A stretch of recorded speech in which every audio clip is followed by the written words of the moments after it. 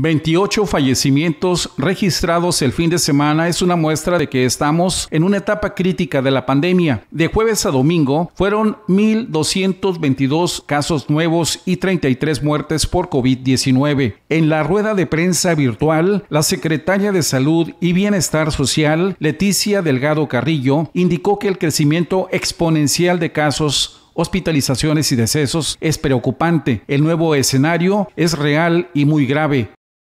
En un lapso de poco más de un mes, el Estado pasó de estar en zona de seguridad de color verde, a nivel moderado en amarillo, subir a riesgo alto en naranja y en una semana estar en el riesgo máximo que se pueda presentar en la pandemia y lo ejemplifica el semáforo epidemiológico en rojo.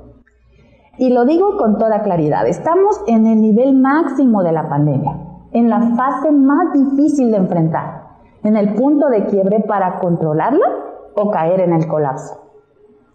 Basta un dato, en la semana 31 del año pasado tuvimos 470 casos en el punto álgido de la pandemia. Este año, al mismo tiempo, tenemos 1.935 casos. Esto es 1.084% de crecimiento del 1 al 27 de julio de este año. Señaló que ante este nuevo escenario es obligatorio acatar a cabalidad los protocolos sanitarios basados en el ABCDE contra el COVID-19. Exhortó a quienes todavía no se han vacunado a que lo hagan, aún es tiempo de hacerlo.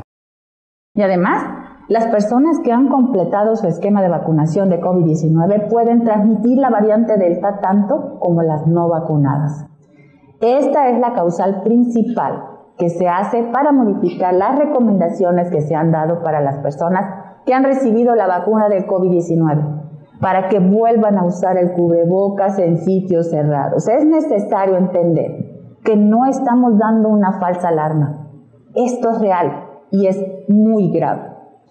Dijo que en semáforo epidemiológico de máximo riesgo, los comercios deben ajustarse al plan de reapertura gradual publicado el 6 de junio del año 2020 durante el semáforo en rojo, se establecen los horarios para establecimientos no esenciales de lunes a viernes de 7 de la mañana a 8 de la noche, con un aforo máximo del 20%, siempre y cuando tengan su registro ante el CIREC y permanecerán cerrados sábados y domingos.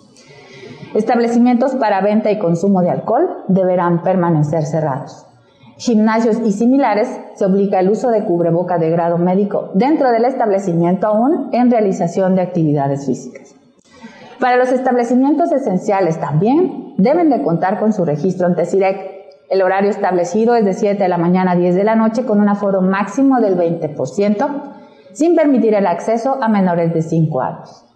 Los establecimientos con venta de alimentos, además de su registro ante CIREC, Tendrán también un horario de 7 de la mañana a 10 de la noche, con un aforo máximo, máximo perdón, del 20%, privilegiando siempre el servicio de domicilio. Mientras tanto, la Cuespris continuará realizando verificaciones en establecimientos comerciales para verificar que cumplan con los protocolos. Noticias 12.1, Marcos Rivera.